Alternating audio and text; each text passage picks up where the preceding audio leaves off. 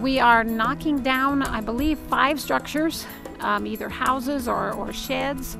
Uh, one's a shed, the rest are were sometime houses. We're putting some siding on, putting some windows in, uh, working on some fascia boards. Um, we are also planting some flowers, um, doing some cleanup of some places. We're painting a house.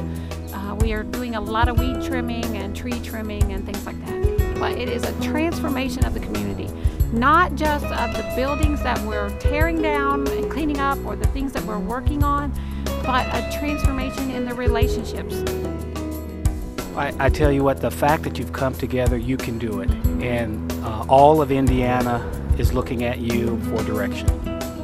Today was the kickoff meeting for the Faith, Hope, and Love area coordinators, and uh, I really wish I had a chance to meet everybody, but it was good to be inspired about what we needed to accomplish and what the organization is about. And I'm energized, get the year kicked off and, and get focused and get our team together uh, and start meeting with churches and, and getting everybody together so that we can pull our people together and have a wonderful Faith, Hope, and Love Week.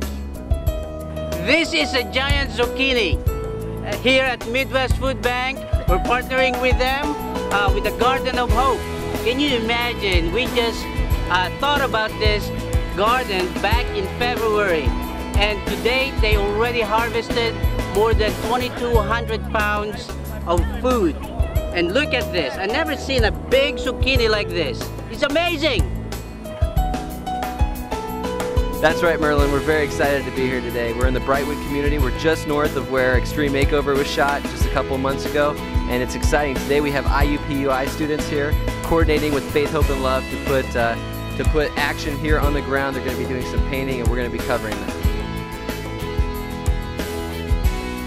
I know, as separate churches, we have our own ministries, we have our own programs, but to be able to get together as a community of believers and uh, functioning as the body of Christ, it made a big impact on me and our church and our community.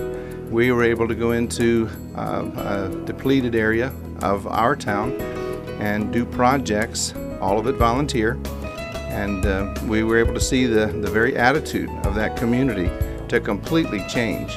And it was because the body of Christ worked as the body of Christ. We went in, showed the love of Christ. There was no charge to the people. Uh, we benefited them.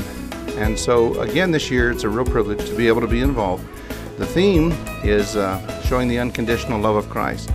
And I'm hoping that that's what we'll be able to do, that we'll be able to be Jesus in shoe leather so that they can see what the body of Christ is supposed to be. Churches working together uh, to be able to improve the lives of individuals and hopefully show them through our love that Jesus loves them.